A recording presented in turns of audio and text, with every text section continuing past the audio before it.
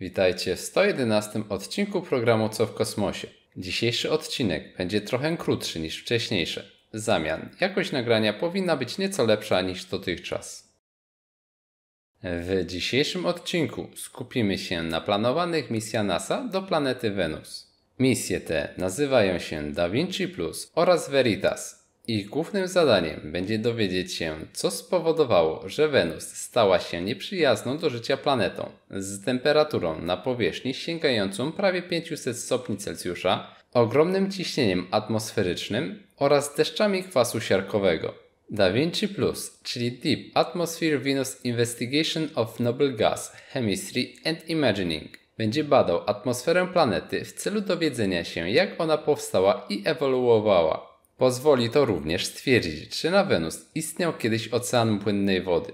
Misja wyposażona zostanie w sondę, która zostanie wysłana na Wenus. Podczas opadania przez kolejne warstwy atmosfery sonda będzie mierzyła m.in. zawartość gazów szlachetnych i innych pierwiastków. Dodatkowo Da Vinci Plus wykona zdjęcia struktur zwanych jako tesserae. Struktury te mogą być odpowiednikami ziemskich płyt tektonicznych na Wenus. Veritas, czyli Venus Emissivity Radio Science, INSAR, Topography and Spectroscopy zmapuje powierzchnię Wenus, co pozwoli naukowcom dowiedzieć się, dlaczego planeta rozwinęła się inaczej niż Ziemia.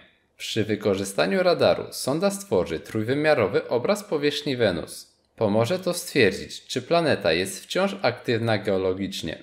Misje te będą próbą powrotu NASA na Wenus, Ostatni raz amerykańska agencja kosmiczna wysłała sondy do tej planety ponad 30 lat temu. Start misji planowany jest na lata 2028-2030.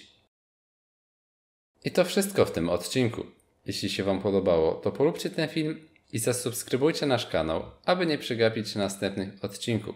Zapraszamy Was również na naszą stronę internetową za tydzień mam nadzieję, że będę mógł już normalnie mówić i wrócą trochę dłuższe odcinki.